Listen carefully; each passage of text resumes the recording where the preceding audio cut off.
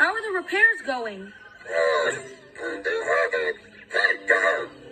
You're not done with the repairs yet? Uh-oh. I'll help. Oh no! Luna could be getting my asteroids right now!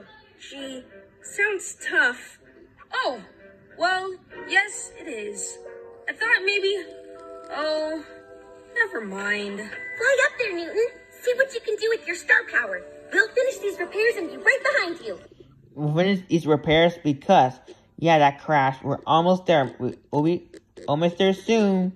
It's part two. So, probably by gas staff that crashed. Bye.